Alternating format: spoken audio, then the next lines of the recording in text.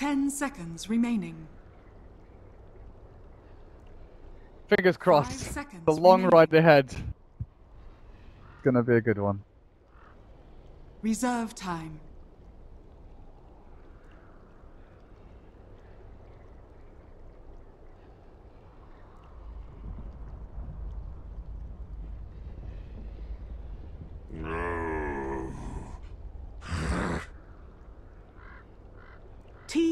Team Empire's turn to ban.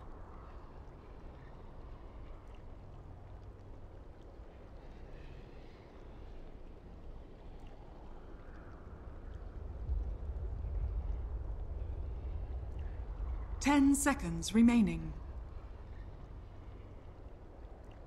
Five seconds remaining. Reserve time. Dire Team ban.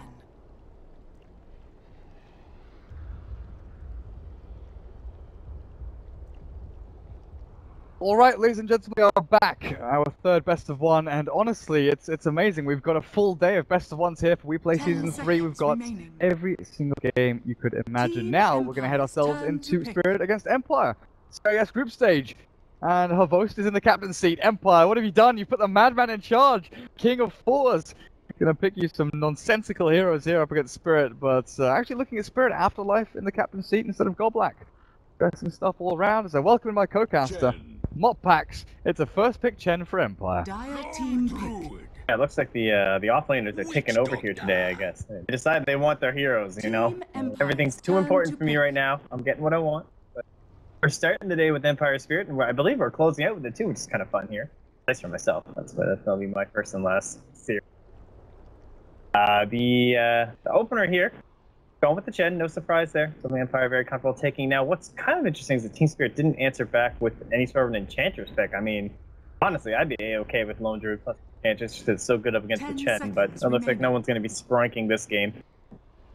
Uh, there's lots of Five great options still left here for. Empire. You can run into just the Vengeful Spirit, which synergizes well with the Chen for the early push. Um, Nature's Prophet being gone probably would have been the ideal duo here, but uh, they'll go with the OD instead. Kind of nice Team with the Hand of God, just something else to kind of keep them up and running, kind of like the Oracle. Yeah, I guess with the fact that Team Empire are like never going to be picking up Enchantress themselves, having that Witch Doctor against the Chen, and also block picking it away from Team Empire, the double heal out from Chen and Witch Ten Doctor, the fact that seconds Cask is super good against the Lone Druid as well. I think that pairing of heroes, it was seconds premeditated. You kind of see Team Spirit. They just, you know, went wham bam, thanks, we'll take Lone Druid with Lone Witch Doctor. We're not going to think too hard about this. These out of your hands. Team And turn to ban. honestly, it's down to Team Empire to ban Enchantress if they really don't want to face up against it.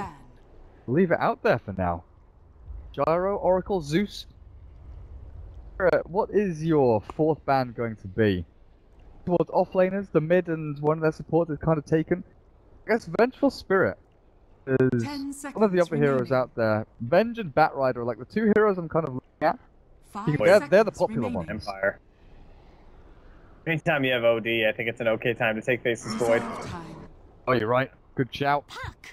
Shout and Spirit return with the puck. Team Empire's turn decent, to uh, decent in lane against the OD from what we've seen, especially outside of the vacuum. It's not always a straight 1v1. You've got supports rotating in and helping out. Puck has a lot of burst damage and maneuverability. He Can dodge out the arcane orbs with shift. Not always going to get hit down by the big monstrous damage output of that Outworld Devourer. Empire, Empira. You're thinking? What's what's her most hero going to be? Is it going to be the Spirit Breaker to charge in and dive onto tier ones and tier twos? It's going to be an Earthshaker to dive in onto tier ones and tier seconds twos. It's going to be an. Abaddon to dive in onto tier ones and tier twos. What's he going to give himself? We probably won't find out until the fifth pick time. because there is that massive bias for drafters to leave their hero until last and uh, get all of the favorable matchups for themselves. Yeah, Uh, I think Enchantress is tempting, but not up against the puck. It would be good to chew through the bear, but it can be very annoying trying to lock down the puck. So the Night Stalker is just like so solid here. Offers you uh, the silence up against the puck. It's always going to be top tier. Like that hero just gets totally destroyed. You always want your Blink Dagger before you have to go for the Eul's. So it's going to be quite a while before I have anything to do with it. Also very tanky for diving towers. Now the one big advantage, of course, is they do already have the Witch Doctor, who's heroes for halting that aggression and diving under the towers, but I still think with how much like they love picking up instead of Empire that Either a three role or just a four role Night Stalker is like tier for either Funnick or Havost. They're taking their sweet time thinking about this. They have been up against quite a few Bat Riders lately as well, and with the Orc already gone and the Vengeful Spirit still available, Disruptor. I don't know if you could pick it now. Dire team pick. Bat Rider still being the pool is definitely risky. These are two of the teams that you will go up with. Well, especially Empire. I know that they've had quite a few games where like they're up against HR and Shasha played an amazing Bat Rider, so they were like prioritizing it in first ban phase. As your ban is just a Team and then that completely knocks out that Bat. Rider potential and uh and even like the Night Stalker aggression again can be a little bit harder to dive those towers early on. Team Empire got a good display so far. That glimpse back, good chasing power once the OD gets into that blink dagger after trail, if that's the place to go. With the Chen, you know, you're kind of looking at two very disparate kind of styles of play between these three Ten heroes. seconds remaining. For an they want to chase and just, you know, fight over long durations. Chen kind of wants Five seconds push into remaining. towers. I guess he, he likes extended fights as well, but to the same extent as these two lads. Reserve time. What's do his you- Juggernaut? Oh, I guess Little buddy. jog, can't you? I was just kind of wondering which uh, which avenue you go down. Like, do you bolster your tower pushing and get someone else that can really boost up the Chen, like a Jug with the healing ward? Do you go for more for uh, more wombo combo? Do you add into that astral eclipse, Ten static storm seconds to empty field combo? Do you add someone in that can really bring that all together? But that's what you're mentioning, so they're going to do that for now. ban. And I guess their offlane hero still could be like a Dogs here. Yeah, he's that. he's been neglected so much lately. Poor guy. Still very solid, especially with disrupt off there. Good with the OD. It's not like the ideal control that you're looking for, but it's definitely Ten good enough when you've already lost the faceless void. Five seconds What's remaining. Havos hero going to be? I think they'll just probably ban Enchantress because they don't have like they time. have the puck magic damage, which is okay, but I would still be a little bit worried about it, honestly. Like if they just role up with the Enchantress, that's that's a ton of damage. I mean, She's so scary right now. Beastmaster is reasonably good here. Just Oh, having- very good. Beastmaster's uh, an excellent pick. Night Stalker's still solid, but not so often that we see him in a three roll anymore. Oh, that's silence. About Havost and his other heroes. Like Weaver off lane is not really going to work out here. East against the lone druid, but with the puck venge running around, Witch Doctor with a couple of sentry wards, they could zone that Weaver out very heavily in lane. It's not going to be the easiest time. One other hero I'm kind of looking at here though is the Nyx Assassin. Playing with an Iron Talon. Mag has been playing it a hell of a lot, and I'm sure Havost will have picked up on this as well. Having that Nyx to be able to hunt down Witch Venge, good against the puck for the mana burn. So good against the lone druid with that impale, being able to Team stun them up and maybe even catch the to real hero. Find the bear. Beastmaster banned out. Still a good shout. I think that would have been that would have been incredibly potent. You know, just roar someone up, have the OD hitting them away, then force the swap back from the Vengeful Spirit to try and save them out. Ten And it adds in that aura. The Inner Beast aura with your Chen and your Juggernaut just swiping into towers. It's so Five difficult to handle. remaining. Depush out when really all you have to depush here is a Vengeful Spirit wave and a puck orb. Dire team You pick. get just a hobo slider. Can we just do that, please? That's what I'm feeling right now. Uh, I think that's the hero. Yeah, I'm going out there. Spirit. Afterlife. Yeah, Darkseer for themselves is still okay. Uh, maybe not ideally. Obviously, you can't Iron Shell the Bear. I know, guys. It would be awesome. Not how it works, Ten though. seconds remaining. Uh, what does that be? Probably just the Tide Hunter. Pretty solid up against this like Five total push seconds lineup. You can get a lot out of the off lane when you're up against the disruptor. Like you can really go in there besides Face's Void, honestly, and contest up Reserve against the disruptor. Even he has trouble with the Thunder Shock, so Ursa Tide Hunter is just one of those guys that can get a lot out of it. Or you know what, just screw this, we'll go Lone Druid in the off turn lane. to pick. That, Ursa. that makes Ursa warrior. Well, little bear. He looks hungry. He looks angry. Pretty good against the Juggernaut, but right now dealing with Chen creeps isn't going to be the easiest the world unless you go for a couple of Midases on Puck and Ursa. Try and clear through these creeps. Wave clear is definitely not available for spirits. They're gonna have to focus on these heroes pretty heavily. Now, Team Empire, their final pick. Like I said, Havost, he's left his hero until last because Five he gives himself the best chance in that off lane. Die, not feed. Try and dive and kill as many people as he possibly can. Reserve time. What Five is, uh, seconds remaining. Wow, you mentioned Tidehunter's pretty good. Spirit Breaker that I mentioned first. That hero that likes charging across the map, and I think honestly it is perfect for uh for her host there. Well, FN Juggernaut, although Enhance moves towards the mid lane for the OD, Phonic Disruptor on that Chen. But Team Spirit, they've got the Ramzes Ursa, Iceberg Puck. Which one to fly? Witch Doctor Afterlife Lone Druid? Uh, Spirit, All Black, Little Venge, no Chen, no Bane, no Treant. Goblak's playing a new hero. It's different. It's weird. I don't know how I feel about this. I don't, I don't think that's okay. There should be some rules against this, man. Oh my goodness, the Team Spirit gets some fancy new banners. What is this? This thing in the mid lane. Ooh, shiny. Like a sports jersey. White and green. Prepare for battle. Goes into the game. Let's find out what's happening. First, Spirit Breaker. Gonna see some good moves from you, my friends. He does get into that like level two, level three. Can charge out the puck at the mid lane. Make waste her orb early stages. D. Damage back onto him. Overdance OD, FN Jug. Jug's actually gone for boots first here. That's something I haven't seen in quite some time, but I guess if you've got a glimpse plus stun from Venge, kill off this Lone Druid reasonably early on. A level 1 Lone Druid is going to die straight up to level 1 Blade Fury plus the stuns they've got. Yeah, it seems good for when the bear if it wants to come in for the pulls as well. Like keeping up with the bear and just trying to harass it down as much as you can as it's messing with your 30 creep wave. seconds to battle. Boots is like the perfect item for that. I don't know what don't have like the Rubik or anything to try and hold it back though. I don't know what it is about this set, but it makes Lone Druid's face look incredibly derpy. Oh, the, is it the new one? Oh no, this is a different one. The cut of Atnu. Yeah, it really does. I don't know, his face just looks really weird. Like, the bottom half of his face is super prominent, and then his forehead is just The back into it. I don't know. It's a, it's a receding forehead, not just a like receding. on his way to becoming a goblin. but he's not Yeah. It's almost there. Oh, Spirit Bear. Let's be scouted. Try and double up this creep wave. Not sure they can kill it off with the stout shield there. The damage output, great. Team Empire. What's the plan here? You're not going to be able to really drag it into any of these creep camps. Warned yet. Try and do as much damage as you can. Phonic going to try and race it out. Force it back as much as possible. Don't think Afterlife's going to have too much of this bring it back to his tower. He'll drag it back again through this sort of area and around again. Willie, kinetic field, not gonna trap the bear in. Creeps, they're gonna meet, but oh no, they're not. He gets it. He actually drags them back behind the tier one, so equilibrium is pretty far up here, and this is this is decent for Afterlife. Not ideal, not exactly what you wanted, but that's down to what Phonic was doing, kind of following the bear around and making sure he couldn't double up the wave. The equilibrium to really force into the tier one. I, I gotta say, I've seen like everything tried up against this, and I still haven't gotten anything that's a total success. Oh, look at it go! Is he gonna go down up there? Yeah. Oh, these body blocks. Pavost dodges himself away. Stuff. I've keeps seen, to uh.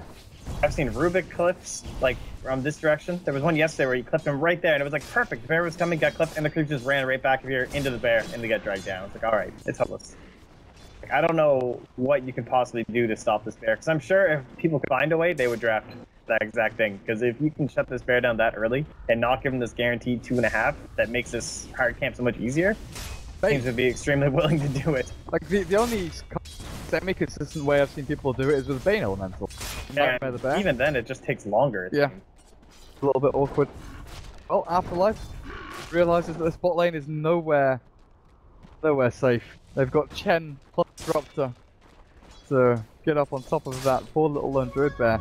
Regeneration. Oh, what we're actually seeing from Havosti off lane, he's not level 2 yet.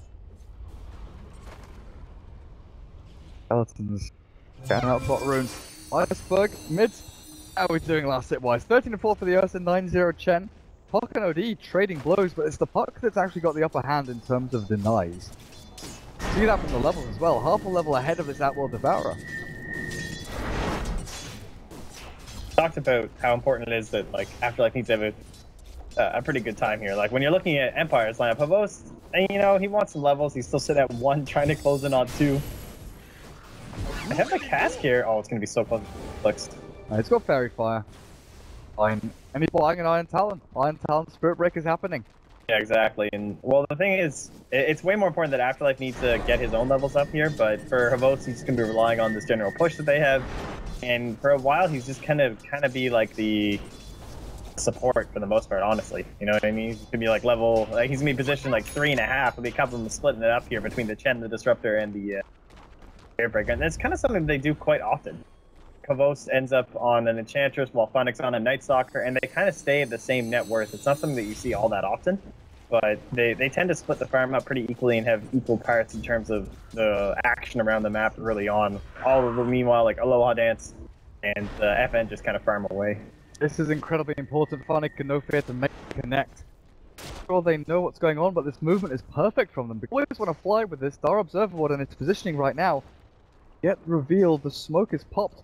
Don't know exactly where anyone is. They low, they noticed Afterlife, but if always want to fly, he's going to be the one that gets maybe caught here. They've got the kinetic field down, but Phonic doesn't get the damage in on time. The very far up, and always want to fly finally drops, but Phonic's going to be the one that gets forced out with the all forward iceberg, jumps himself aggressively away from Aloha Dance and No Fear, while Afterlife wails in on these neutral creeps. For the 10 creeps even. The first blood, it's a one for one suppose can be the one that's that, that pretty happy. Why? Aloha Dance is just sitting here. He's gone for the three points in the Arcane Orb really early on, so Iceberg just cannot even help there. like once they, they roll up in, yeah, he can't chase down no fear or anything. He's just gonna be so cautious. Uh, although it's gonna be pretty luck based here for Aloha Dance, like obviously he's only gonna be able to throw three right clicks. Oh, He gets that Essence Oh dear. What a Most of Havos just- hero, honestly. Well, like, he just died, he TP's back to lane, and then he nearly dies straight up again. He's forced to pop his salve. Ramsey's Ursa plus Goblak Vengeful Spirit combination just just Not destroying. but Oh, little Spirit Breaker, and now they go straight back into him again. Radiant's top So when he comes back to lane, attack. he's forced to charge twice, forced to salve up. He's got no regen left. Might even have to go straight back to base. Before he even gets that Iron Talon money. Stories. okay, it's all just a little bit of space. Oh. Team Spirit, they, they've got their own objective here. They- They're looking towards the Roshan. They got your stuff, the Ursa. Eh, and coming in like into that fifth pick before they had the Ursa, they didn't really have a role in their lineup. You know, like they kind of just said, yeah, we're going to be getting pushed into by Vampire. Like we know what their plan is with the Chen. We know what their plan is with the OD. You want to go to a certain point before you start rolling together. You want to snowball a couple fights together, steal a bunch of Dire's ins, win the bottom game. Tower is Easy stuff. But going for that Ursa, they've given themselves that objective. Nice little shutdown there on Wall of Dance as well. Play there, but Iceberg, the sneaky devil, jaunting into the trees and now orbing himself forward aggressively into no fear. He has no fear. Iceberg falls on this player. Puck. The slippery little devil.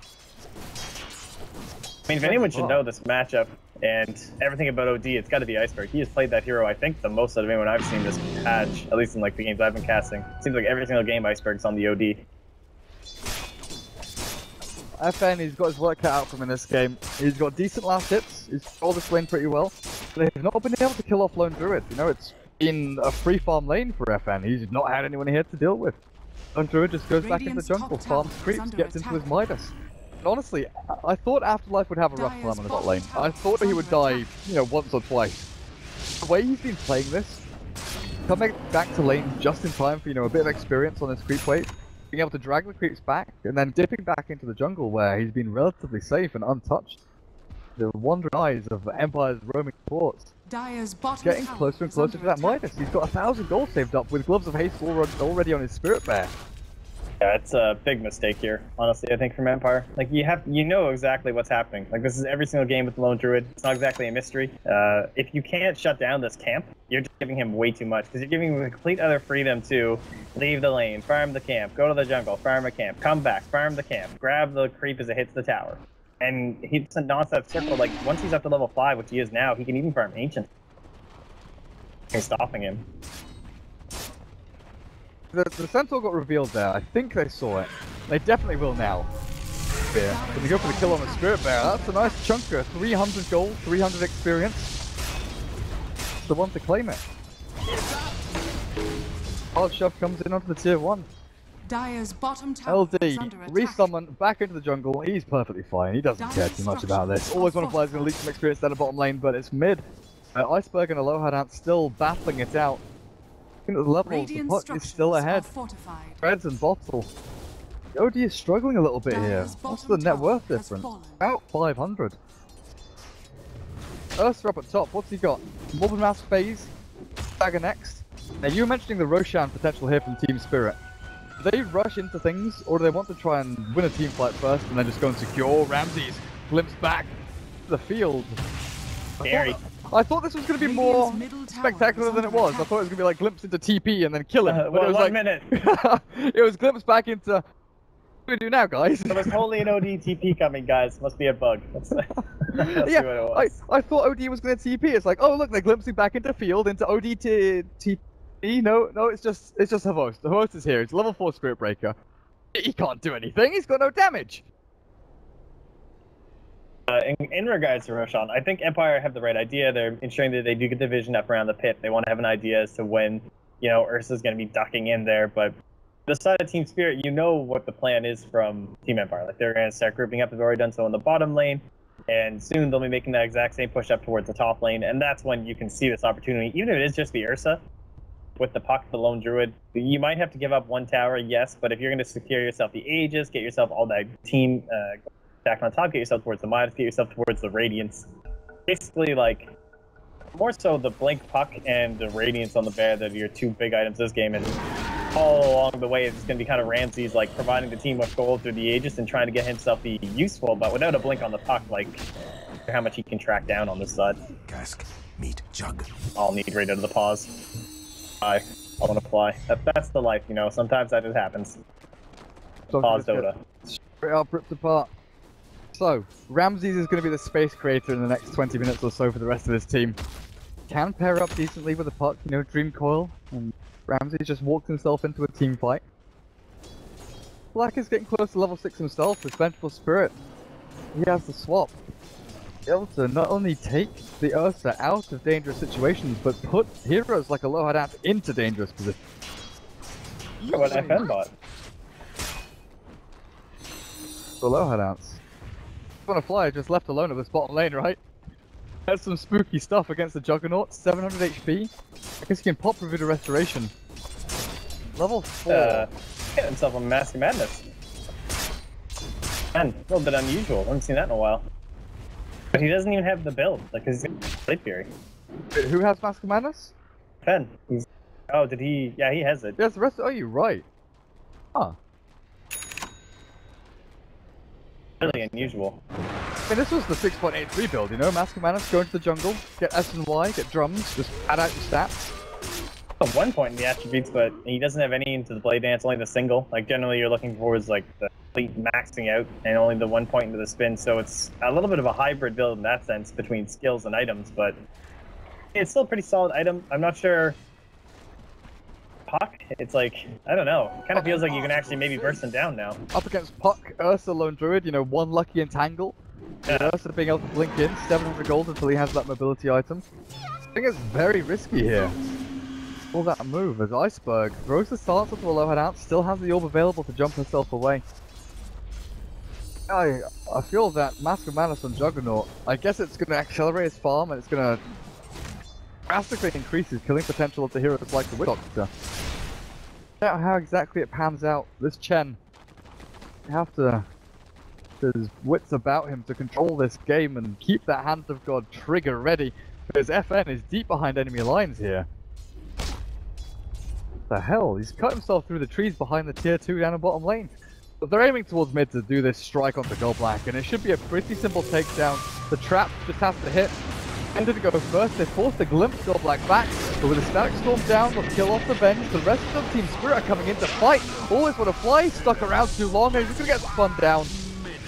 Dire's middle tower Team is under Spirit That's good cancel by. Ramzes. That would Yeah. not have been the play. Split. Gather to the wind, my friends. Go back to farming. So afterlife Almost got his is close done.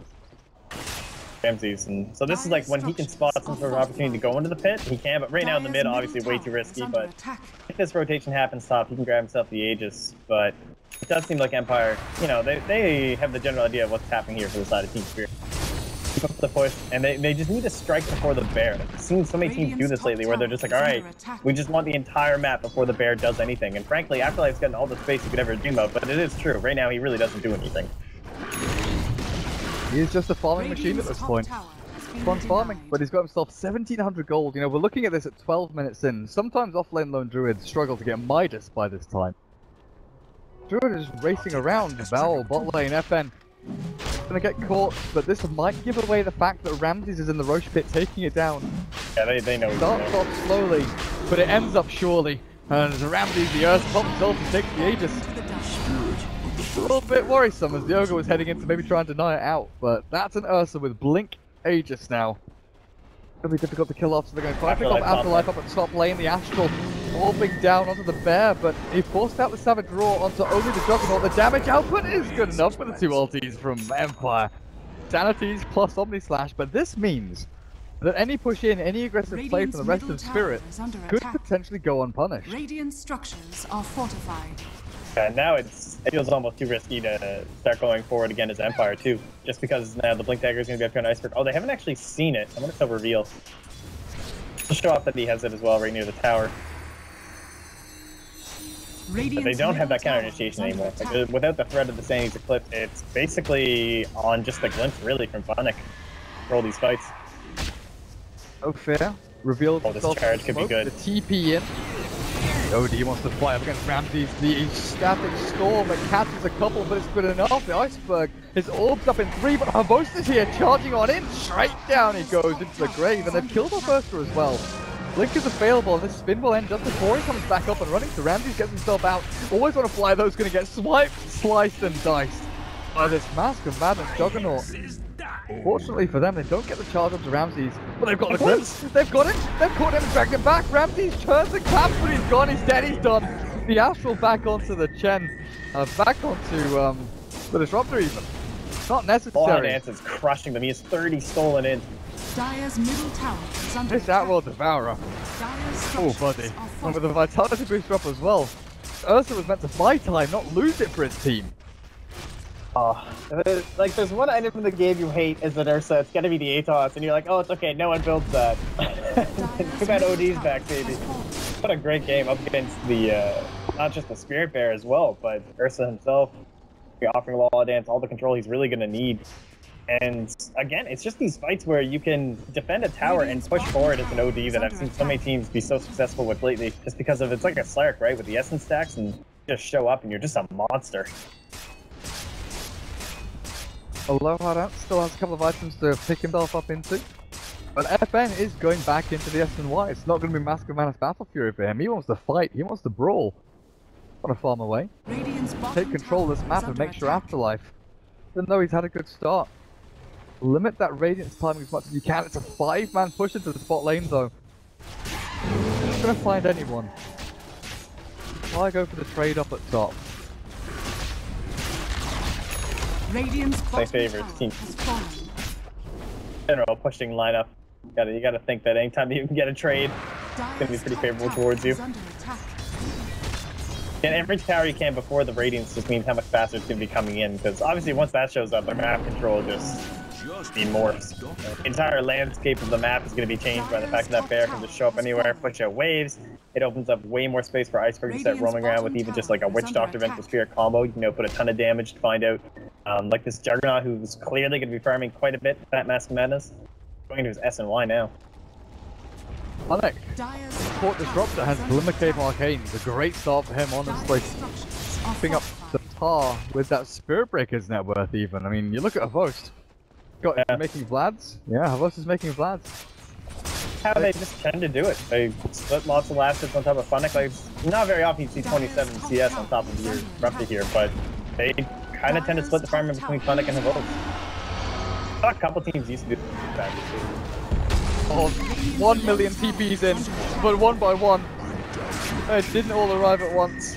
Well, clear up the disruptor before the fight even starts. And Ramzes turns to fight a Aloha Dance. He wants to get a couple of hits in here before he drops the sanity clip. He's going to drop it now. When he does, he clears them up. He's still alive with the mech of the Chen and healed through the fight.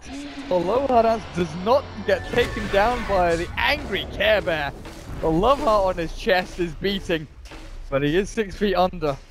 Always want to fly is being Forced back over to the side of the river, but FN, he's not done yet. Omni Slash still available, but with no real mobility. No Blink Dagger, no Force Staff on his team to push him further forward. They're going With in. charge on in. Havos, he wants to dive, he wants to kill. And with always Want to fly being such a low, low HP Witch Doctor, the switchy little devil, this Peace Pipe, gonna get crunched up and thrown on the ground by Havos' big mean cow.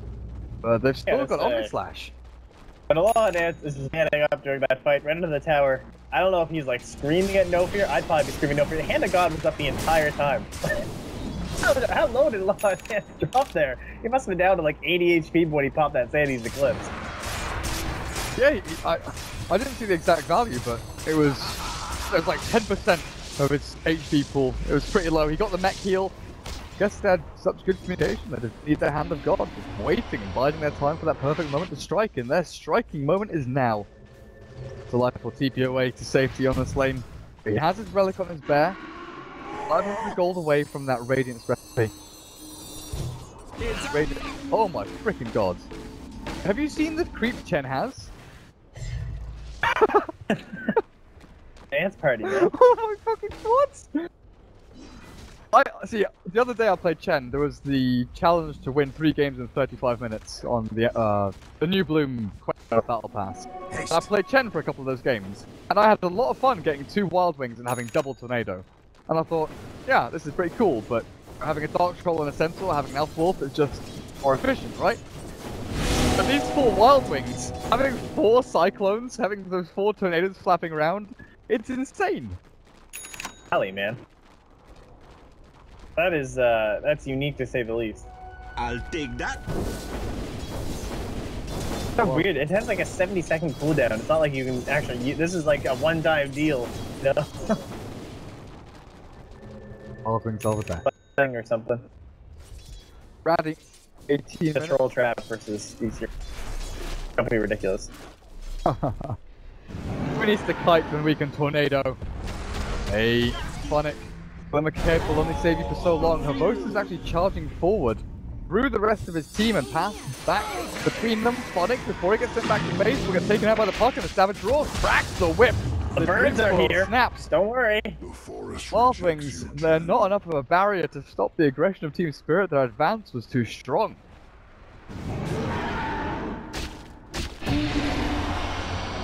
Oh, oh, oh, stuck. Godlike oh, can't see him in the trees. Are you serious? That line, that perfect line from Havos a through wave, the though. trees.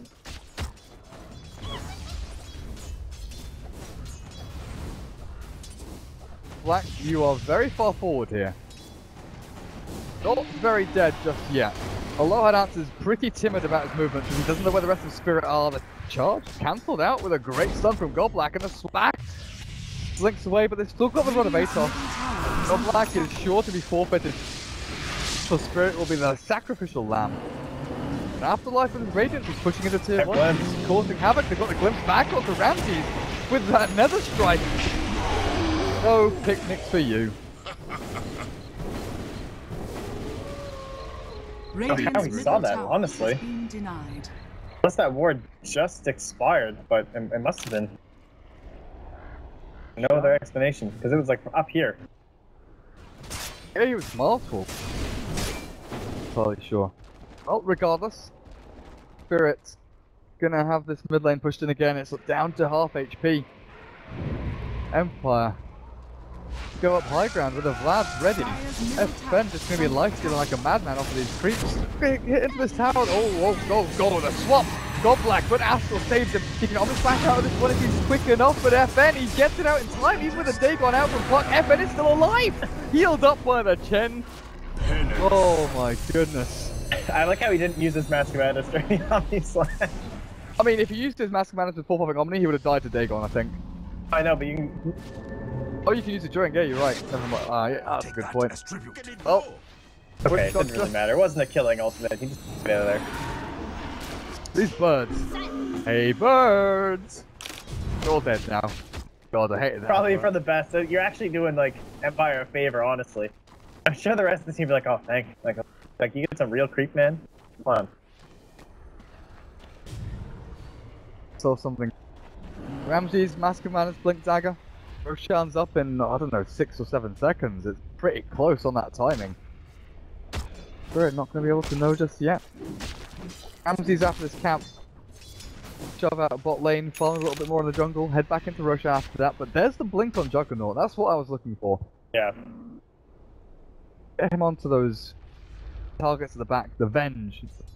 Have you even tried and catch the puck before she jumps into that big old, uh, big old dream coil. Thing about Spirit Breaker is that obviously the main benefit being the fact that yes, you get global vision, global initiation in some sense, and being able to track down people who you really want high priority targets. But the one thing that you've seen from this game, what the hero does lack, is giving your team the option of where you want to fight. They haven't had that choice whatsoever. When it comes to the OD, like, control is the main factor, but so many times supposed to be charging in, and then the landscape change will like run down a set of stairs. They'll run over, to, you know, over to here or something like that, and Oh, you can't set the pace of the fight. So the blink dagger is going to really help with that for the Juggernaut. They just need someone who can actually get in there right away. Savage Roar is wasted and Goblak. Oh, buddy, you're dead. You have screwed up. Staying around a little bit too long, but the Lone Druid Bear, the actual bear, the big old bear, Ramzes, goes in on the funding, but Blue takes him alive below Ramzes, being forced back by the Death Warder. Ramzes is all alone in the back end of the team fight.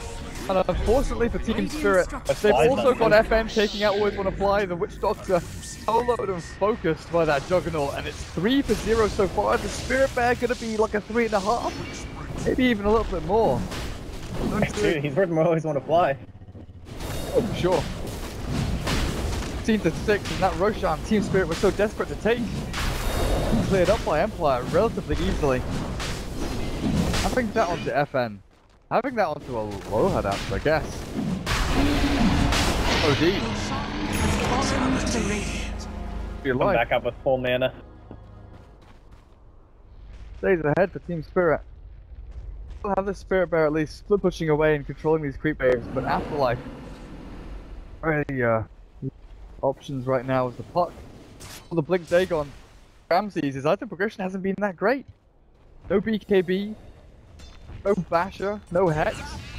Nothing really to allow him to jump in and find a kill. Except this sweet little move that FN just got shredded. Team call into That swap was and sick. Ramzes waiting in position to just wipe him down. This signals the retreat for Team Empire. They've got to bail out of this without that Juggernaut. I mean, do you rely entirely on the low head out? You can turn and fight here, maybe the high ground. This is their position. Dropped her. Throw the standing control just yet, biding his time until he drops it now onto Ramzes's head, but the Sanity's Eclipse doesn't do enough damage. Ramzes, he's clearing up the support to the back end and he's found out the Chen. Funnick is going to be the second one to fall. The eclipse back Ramzes, but Iceberg hot on his tail. Be able to find the kill with the secondary Really? Glimmer Cape coming through. Low hardouts. They want this swap. Done as well, the clap. It's just about going to land. Catches him on the tail end. Hardouts is swapped into the middle of them as well. He's got two lives here. I don't think they've got anyone to back him up to save him from the stack. He's alive. He has no blink. I can't believe Iceberg didn't try and fight Sonic. I don't think it's worth it. Just being like, the fact he's got limited mana. Oh god, they're gonna find Phonic now. They get That it. works, but I think the fact that Iceberg had like 230 mana or something. He would have needed multiple rotations of his spells to kill Phonic because he was on like 350 HP. It was just like awkward with Glimmer Cape as well to guess the right way, chase him, get the orb to land, get the Waning Rift as well, and then right click him down when he just chases the OD and gets that kill secured regardless. where are you, Iceberg? Come on. Where are my godlike plays? Yeah, you meant to Okay, kill though. everyone on the map at once with well. Like, even though, like, prior to that Roshan fight, I would, I think I would have said that uh, Team Spirit was ahead anyway, and now after everything that has finally transpired, like they lost the Roshan fight, but then you get this great engagement here. It's it's certainly favoring Team Spirit. Like you look at this lineup from Empire, and this is the lineup that wants to be breaking racks right about now. You know, cracking through a tier three, taking themselves a full lane of melee racks. But obviously, with the ratings being up and starting to build in some other items, Ramzes's starting to get himself a BKB, which is also going to be a big game changer here. And uh, the scythe, yeah, it's going to help some Aloha dance, and that does eventually come out. But it's, uh, it's certainly starting to heavily favor Team Spirit in terms of the overall hero lineups and where we're going to be progressing over the next 10 minutes with them. Provost, he's showing off the Sange he's built himself up, and Ursa going to respond to this with a BKB. BKB is necessary anyway, but just knowing that Ghost is potentially going for the... He's finished off the Halberd, actually. Being able to disarm that Ursa, disarm the bear even. Pretty big in these fights for Team Empire to just to control up Team Spirit. Sure they don't get these damage sources outputting. Yes, they'd like to. Well, FN is switching back into the sky, tanking up, adding those stats in. So going to be able to kite the bear. Well, both, both. Okay, all three bears. The lone druid, the spirit bear, and the Ursa bear. All relatively susceptible to getting kited by things like Skadi. Yeah, that's uh, pretty good item choice here. I've seen a couple of Juggernauts going for it lately, but it is always going to be good if you're up against the Ursa. I saw it against a Bristleback the other day too, which was pretty nice. But same idea, just these kind of tankier guys that head around, try and hold on to your team. We know they're already lacking a little bit of control. Like every little bit you can add for an OD that allows Aloha Dance to just do his thing, like especially before his Slice is done. He'll be very happy. You get a little gold star from Aloha Dance for helping out the squad. And uh, it's I don't know, it's kind of like Iceberg, man. This going for this level three Dagon, so he needs to bang out one of these supports. bottom is under attack. Definitely needs to find that pick-off kill onto someone. But, you know, they've got themselves this lead, they've kind of held on to it bottom in 27 minutes. has. You have to start looking to consolidate this and and clear out Team Spirit, push them out of their base. Oh. Taking these tier 3s, the mass, Oh, the charge! Come so on, sad. stop. Poor always Always wanna fly. Oh, dearie me. Radiant's middle tower will is fly. under attack. Uh, What this is it Doctor- with uh, Disruptor sets, by the way? Can we can we talk about this? Like, I've seen the Mega Man one, and he's a Sub-Zero set too. Like, is he just like the copyright ripper offer of sets? Like, have you seen the Mega Man one? There's one that's like a straight up at the Mega Man hat, and now he's friggin' Sub-Zero. Radiant's middle tower is under attack. Um, Blame me when you guys get sued, workshop artists. Just saying. Why- Watch your backs. it's an imitation, Mopats. Imitation. Satire. It's a parody. it's, it's This per- is a parody workshop set. yeah, it's like perfectly acceptable. Creative Commons and, and copyright laws and stuff, you know? Within their rights. Within their rights to parody Mortal Kombat within the Dota 2 video game. Ice Frog allows it. But of course, you know, Alpine Ursa set taken out the store because it didn't fit the game's aesthetics. I don't know, we were just talking about yesterday in the cast, but I tell you, that thing came out today, everyone would be like wondering where the particles were, honest. Oh, for sure. But there was such an uproar. Like, I remember this all happening. It, it was, yeah, it was deserved though. To be- Compared to the rest of the sets, it was understandable what, At- at time, yeah. happened. And it's kind of like, well, the Alpine Ursa set, it, that kind of whole situation kind of grandfathered, you know, it doesn't really count for any of the, it, it didn't set the precedent for anything nowadays, because we've got the frickin' Drow Ranger cat ears and the Gyrocopter bloody Hey, she hunted sailing that cat. ship. Okay, the ship, the ship was like, that was when Val finally said, alright, it's over. Yeah. We, we give in, just meme all you want, turn Dota 2 into an anime or something, I don't know. Don't care anymore. Five grand push time, Empire. Is this? And Iceberg, don't fail me now. Glyph available actually out for uh, Team Spirit, so they've got to clear this the old-fashioned way with right clicks from the bear and orbs from the puck. Why are they're not fussed about breaking racks, even with the glyph down. They don't have like, I don't. There's no punishment, you know. Like there's a puck, yeah, but they don't really have this thing to get in there and kind of split up the fight, you know. Like they can initiate, but that's one of the best parts about Clockwork used to be that you needed to commit to this push, or else you would get punished so heavily. Like he'd break himself in there, he'd split up the fight, you'd get one kill, and then you were free to de-initiate if you wanted to. Is great, you just back off, get yourself the one kill, and make them pay for their transgressions up your mid lane, but. When you only have this puck, especially because the deliver cape that's on top of it, you can't even just get in there and get yourself that easy pick. So instead, they're they're going for this big smoke play, but they haven't quite found anything, and just sneaks away from under the ward. Maybe Funnick will pay for it. Come if The cross, Phonic. Yeah, you're right. That's definitely the bit- pickoff though. No buyback as well. No gold at all. Tier 2 mid is nearly dead as well. Easy tower, with a demolish on bear. Oh, Great. they got him. Find, find themselves in a position where they can just clear through Empire, the heal is out onto FN, and he gets himself back to the base. Radiant structures the spin. TP, and this is the thing without a basher on the bear, you've got the blink BKB, you've got defensive abilities. There was no range on the swap from Goblak, but he does have it now. Aloha Answers walks straight out of the base into the aggressive hordes of Team Spirit, and he's dead for 60 seconds. Empire might just have thrown the game right here, right now.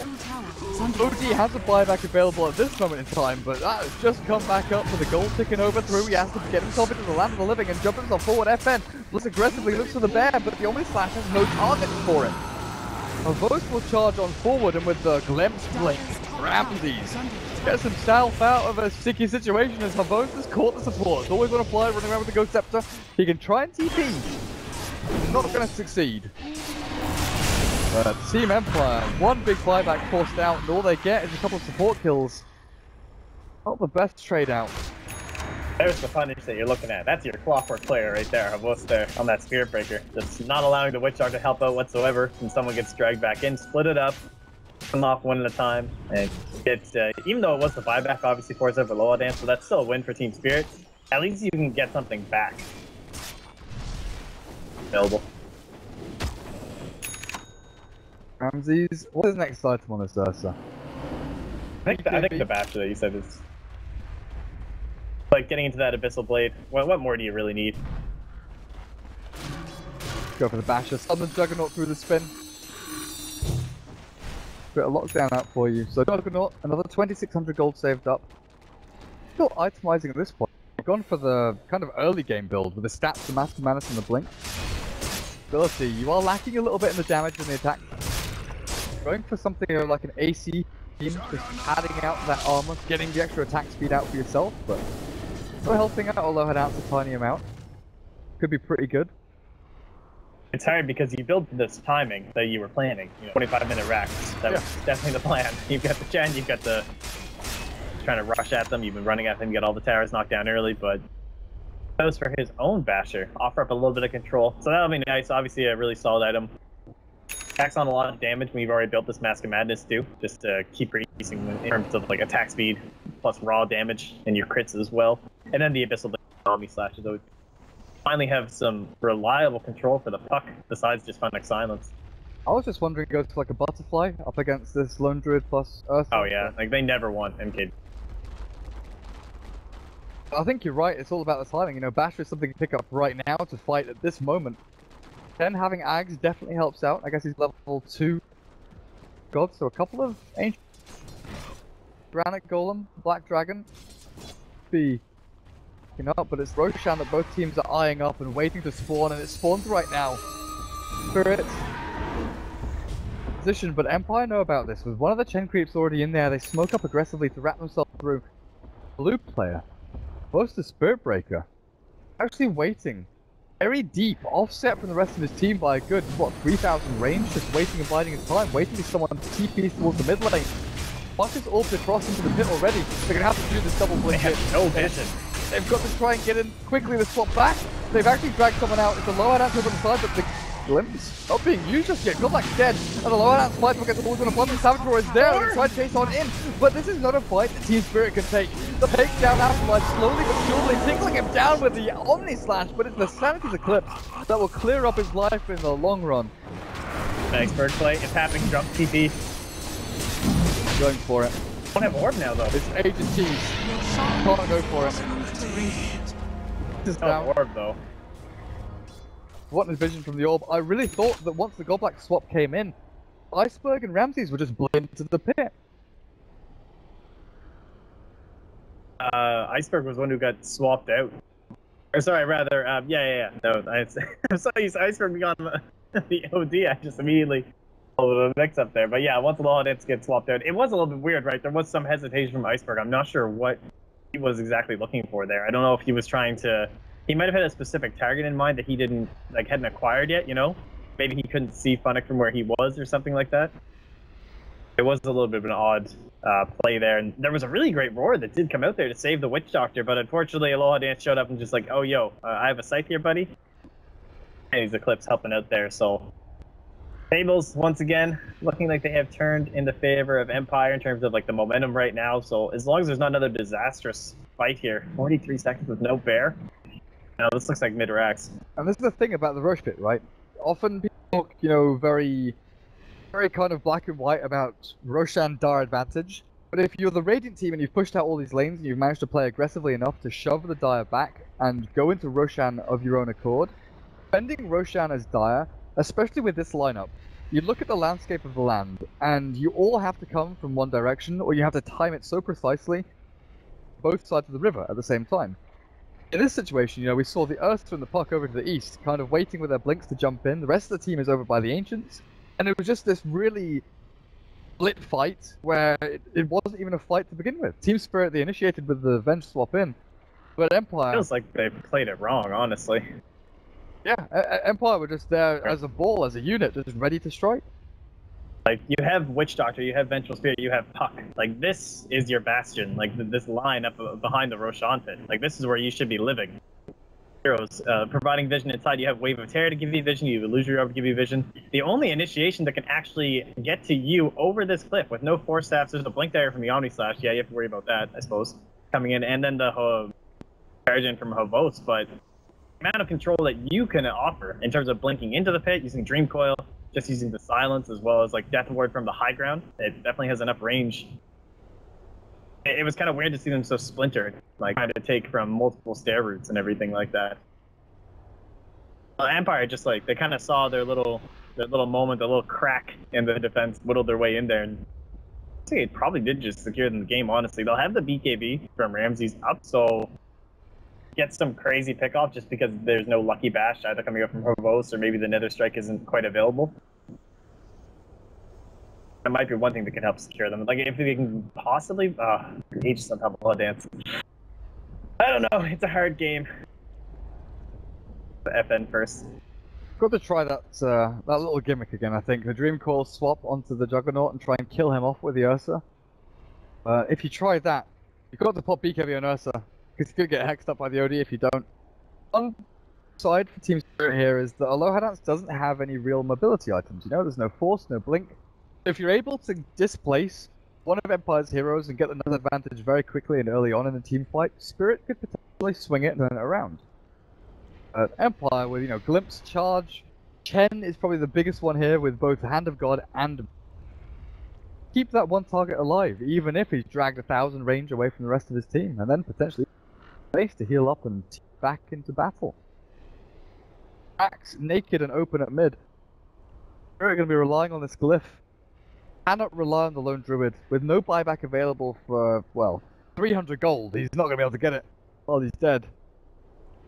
They like, they can't even go and take a tower. That's not going to give him enough. Without your lone druid, it's going to be rough. I honestly think that Spirit just have to give up a lane of racks. Save their glyph for the second run onto like a tier 3 at bottom lane. Not looking that way. Like you don't have. Yeah, at least he's level 11 here for always want to fly, so he does have the Segway, but obviously there's nowhere into the. There. We Yeah, have the the same same question. question. Oh, Funnick just Funnick just went one min and he he sodded off. He's gone. he's just gone. He's left. He's he's gone. Her host is like, hello, what's happened? You go, Phonic. Phonic's not answering him. He's got no idea. On him up on uh, on the old mobile, but no one's answering. Host is left alone. Four of his teammates have ditched him. Answering. Nobody's replying to his calls and his texts. I was just like, oh man, not again. Come on, Yeah. Sonic. This, we're not doing this again. This has happened before. This old chestnut. Then he no longer replies to my telephone calls. Miss him. It's like calling up Dendi, see if there's any slots open. Ixoneco, I come back, please. yeah. Spirit, I'm still wondering about Iceberg's Dagon. The initial purchase of it was like, oh yeah, Dagon's gonna be okay here. But then there's the Glimmercape, there's the Spin Juggernaut, Empire, they've got all the heals, there's nuke damage. Fuck. I think there was another item you maybe considered purchasing, like even even the Midas after Blink itself into kind of the later periods of the game because they know that they want to drag this out. I don't know how you feel about that. It's hard um, with the puck because the puck, uh, the times I've seen it be extremely successful is when, let's say, it's swapped with the OD right now, and that's your lineup. Into this sort of a agreeing with the tempo of the rest of your team. In, these sort of situations where it seems like the puck's being brought in as some sort of like a spear to provide enough like 4v5 fighting power towards the rest of your team to make space for this lone druid to catch up, get an item that's going to make you good enough to contribute to the rest of your team and the actual map presence and taking objectives. This is where I see the puck struggle. He's going for that Dagon is great, uh, when you're snowballing, when you're pushing the towers, those quick picks. But all the farm that they were able to attribute over on top, like on top of Funnick, as well as the fact that no fear is a Chen, so he's naturally going to have like some creeps surrounding him, some nets. He's got hand of God always available to pop if he feels like he's in trouble. Obviously, he's going to have the mech too. There's there's not really that option for the Dagon to kind of go to work. Now, mind you, the Mask of Madness kind of helped him out. Kind of made it seem like it was better than you might have expected. But the, all these levels in the Dagon, I might call those questionable. You have just the one point, like the one level Dagon, something like a Scythe or an Aghanim's Scepter right now. No, no BKBs really to worry about quite yet. So, no, not the biggest issue in terms of the Aghanim's Scepter, but he wanted to go in towards that scythe. That might have been the item that would actually give that Ursa the control that he needs. Like you know that's what's lacking when it comes to the lone druid. One minute, he said. One. One minute. Yeah. You're bloody right. Goodness. Years later. Taking forever, Mop Packs is taking for bloody ever. I, uh, well, I was telling you before that I, I messed up this morning because I went to our store to get a, a plumbing fitting thing, and uh, I'll explain to you why. So this is this is what happened to me yesterday. So it was, you know, February 15th. It's actually a holiday in my province. It's called Heritage Day. So uh, wife didn't have to go to work. So I had like breakfast, which is nice and everything, and and then I was casting all day with Cap for ESL, so it's gonna be a good day. One min. Yep. Oh, anyway, the, he said one minute like years ago. So, uh, the sink upstairs in my bathroom was. And you know what? I lived with dudes. You know, I, I had roommates in college. The sink it gets clogged from beard hair, all that shit. That's fine. So you, you plunge it a little bit, not an issue. But I just bought this house, right? Huh? been here a couple months ago. Never met the people who used to live here. And uh, so I was like, okay, I plunged the sink, not happening. Sink, sink's not moving. I'm getting no movement here. So I have to start. It's okay. I've done carpentry stuff past. You know, I'm a little bit of a handyman, so I'm taking this thing apart. And I got a metal snake, brought it over. I learned a few things about the people who used to live here, Durka, and, and these aren't the things you you ever want to learn about something. You know, like you never want to learn things from plumbing. Am I gonna cringe?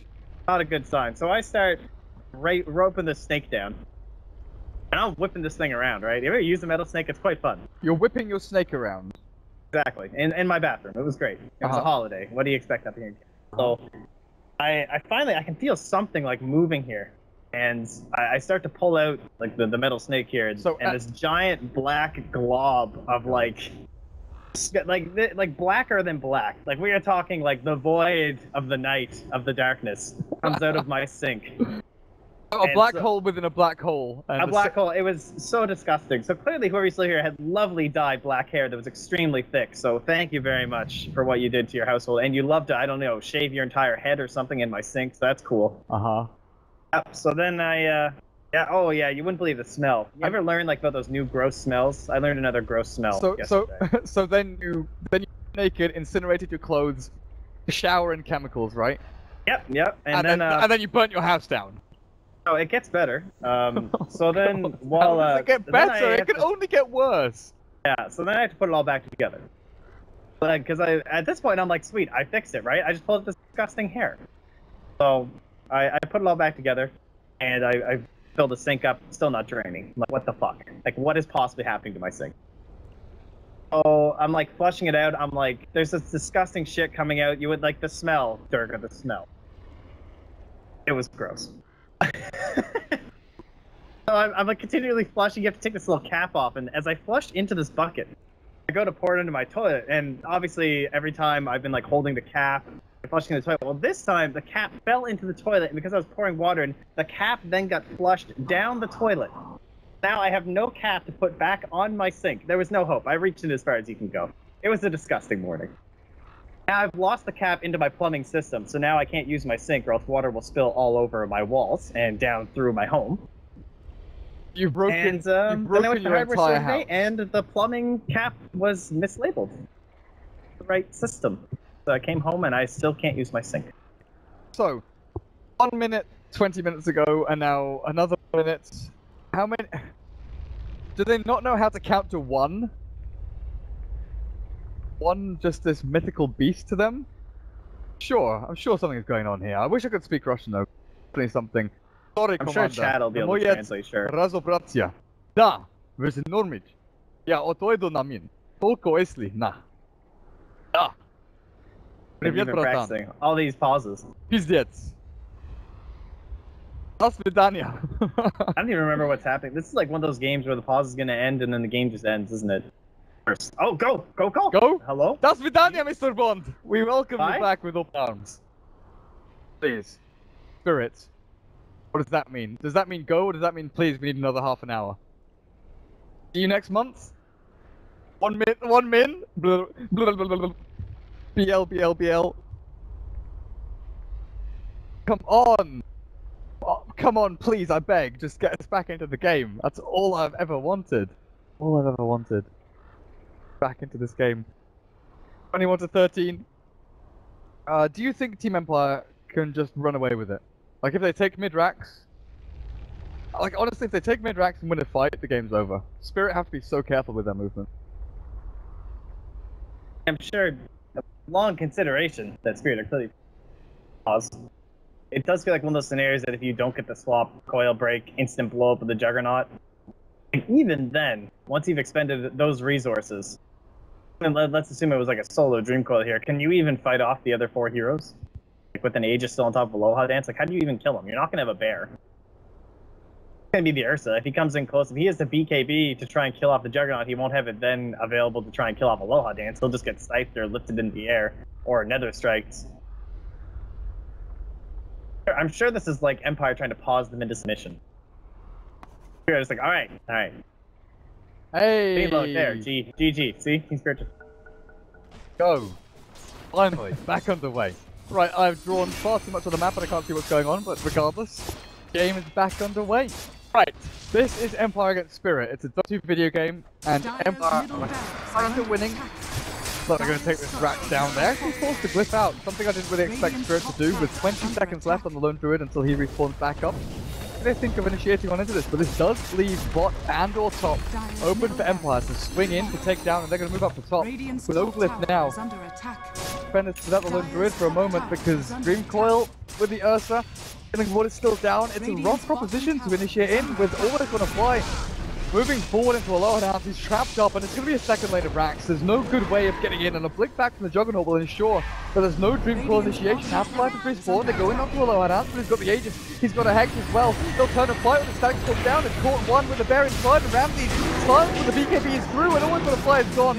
On the back end, they're just trying to swipe through the Splitzel, Ursa, Bear, but they're swapping another strike.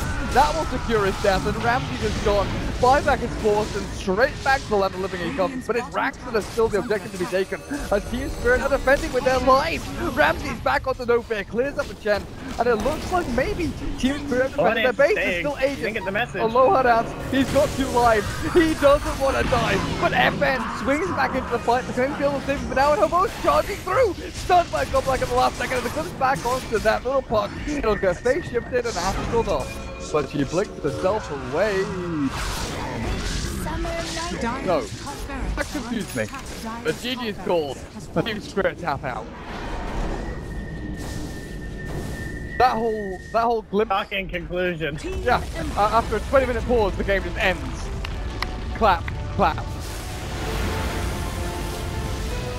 All right, well, uh, if we can remember what happened here, there were a couple moments where it seemed like Team Spirit had regained the momentum. Uh, possible moments where they had taken off some fights that you know you weren't quite expecting.